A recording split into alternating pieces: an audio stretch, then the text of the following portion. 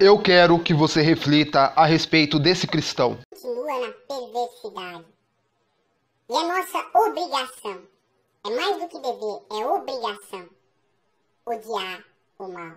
É necessário odiar o mal e lutar contra ele.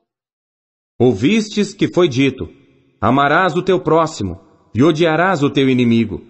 Eu, porém, vos digo: Amai a vossos inimigos, bendizei os que vos maldizem, fazei bem aos que vos odeiam, e orai pelos que vos maltratam e vos perseguem, para que sejais filhos do vosso Pai que está nos céus.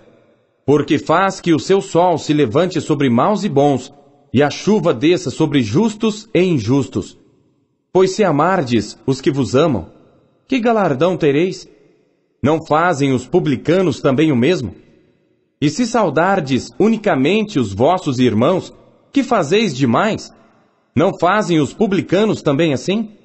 Sede vós, pois, perfeitos, como é perfeito o vosso Pai que está nos céus. Costuma ajudar muita gente aqui. Né? Então, o, o Graak, foi a Lorena, foi a Natália. Guardai-vos de fazer a vossa esmola diante dos homens, para ser desvistos por eles. Aliás, não tereis galardão junto de vosso Pai que está nos céus.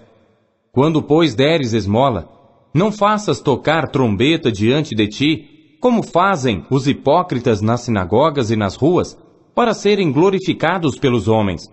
Em verdade vos digo que já receberam o seu galardão. Mas quando tu deres esmola, não saiba a tua mão esquerda o que faz a tua direita, para que a tua esmola seja dada em secreto e teu pai que vem em secreto, ele mesmo te recompensará publicamente.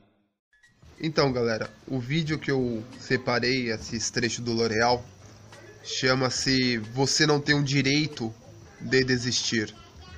E ele está certo.